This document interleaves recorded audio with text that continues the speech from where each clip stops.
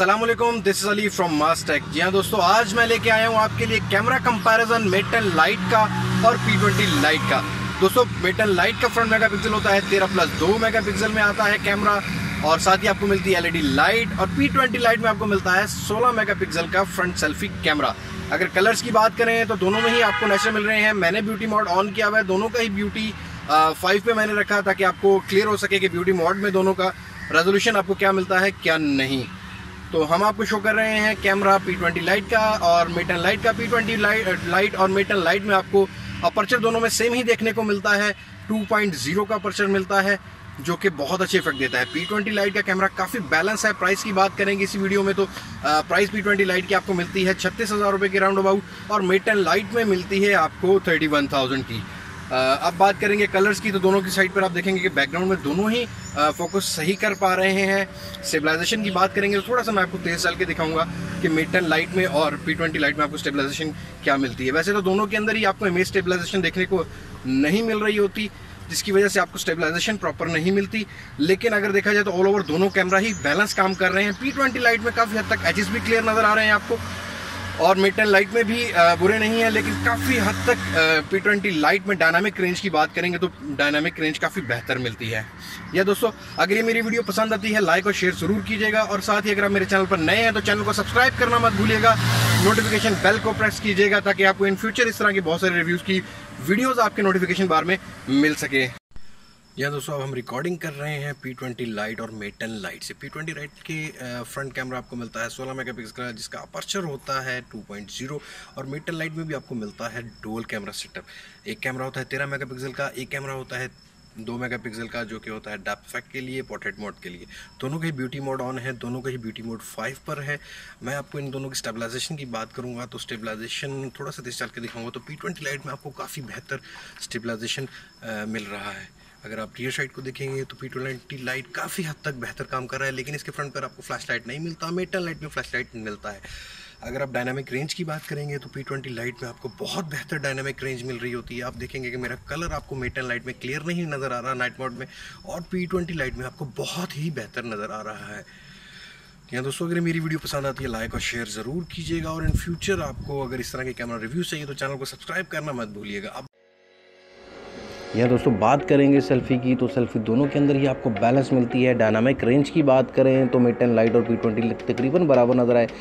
लेकिन all over अगर edges की बात करेंगे तो पी ट्वेंटी लाइट में आपको एजेस बहुत अच्छे मिलते हैं as compare to mitten light लेकिन मिटन लाइट भी बहुत अच्छा रहा डे लाइट कंडीशन में। अब बात करते हैं पोर्ट्रेट मॉड की पिक्चर की तो ये पिक्चर मैंने ली गई है सेम ही पोजीशन में पोर्ट्रेट मॉड में। इसमें आपको पी ट्वेंटी लाइट में काफ़ी हद तक कस्टमाइजेशन नज़र आई ब्यूटी मॉड नज़र आया बैक साइड ब्लर नज़र आ रहा है, लेकिन मिड टेन लाइट में आपको बैक साइड ब्लर नज़र नहीं आ रहा और काफ़ी हद तक नॉइस नज़र आ रहा है कॉन्ट्रास्ट बहुत ज़्यादा नज़र आ रहा है। तो कलर्स की सेचुरेशन की बात करें तो पी ट्वेंटी लाइट में पोर्ट्रेट मोड में कलर सेचुरेशन आपको बहुत बेहतर मिलती है। अब बात करते हैं रियर साइड के कैमरा की तो रियर साइड के कैमरा में आपको P twenty Lite clearly winner नज़र आएगा मेटन लाइट से डायनामिक रेंज बेहतर नज़र आई। बैक साइड के कलर्स की बात करें तो फोकसिंग बेहतर नज़र आई पी ट्वेंटी लाइट में। मेटन लाइट में काफ़ी ब्राइटर कलर नज़र आ रहे हैं। ब्राइटनेस धुंधलापन ज़्यादा नज़र आ रहा है, लेकिन वी ट्वेंटी लाइट में कलर्स भी बहुत अच्छे मिल रहे हैं। अब बात करते हैं रियर के ऑब्जेक्ट पोर्ट्रेट मोड की पिक्चर की। तो दोनों में ही आपको पोर्ट्रेट मोड बहुत बेहतर मिलता है। अगर आप ऑब्जेक्ट को बहुत करीब से फोकस करते हैं पोर्ट्रेट मोड बेहतर मिलता है, लेकिन अगर दोनों के अंदर एक एक छोटा सा प्रॉब्लम देखा जाए तो दो ऑब्जेक्ट हैं, दोनों को ही फोकस कर रहे हैं बैक साइड ब्लर कर रहे हैं। हालाँकि होना ये चाहिए कि एक ऑब्जेक्ट फोकस करके बैक साइड ब्लर करना चाहिए। सो दोनों ही तकरीबन रेयर सेट में एक जैसे हुए।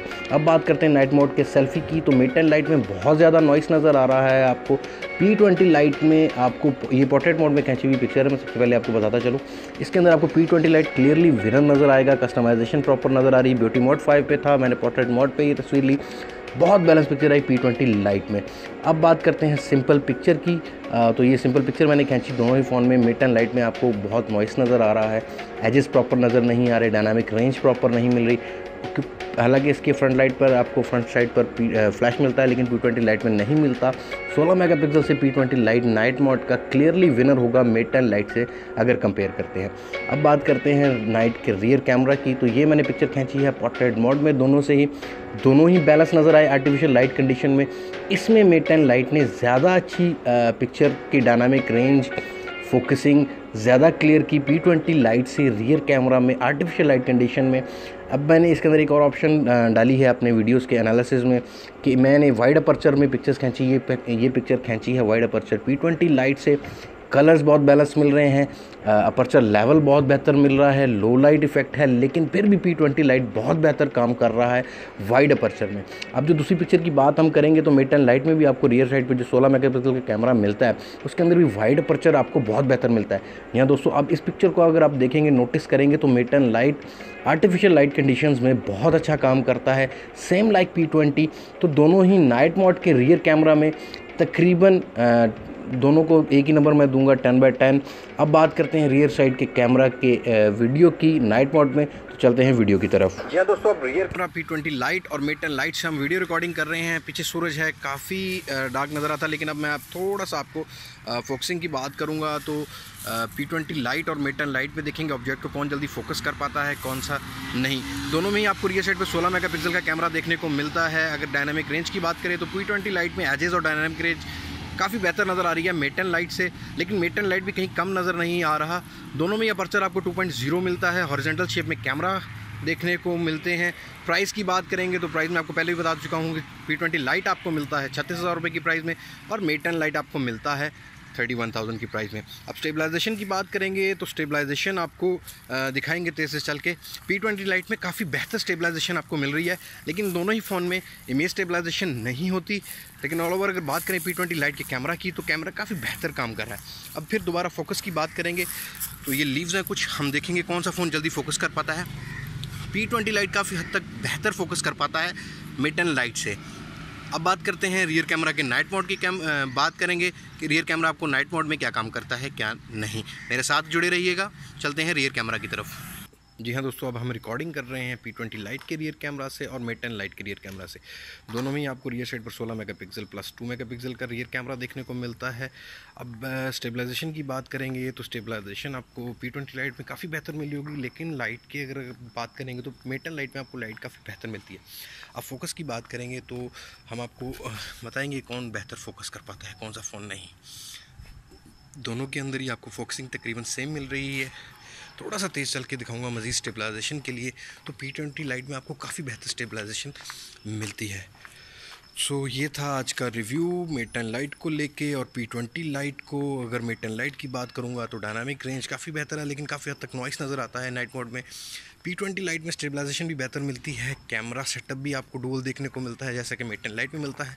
लेकिन कैमरा काफ़ी बेहतर दिया हुआ मैंने पी ट्वेंटी लाइट में। मैं हूँ अली अब्बास मास्टेक से। इन कमेंट्स मुझे बताइएगा कि कौन सा फ़ोन आपको पसंद आता है, कौन सा नहीं। मुझे अगली वीडियो तक के लिए इजाज़त दीजिए, अली अब्बास को। अल्लाह हाफिज़।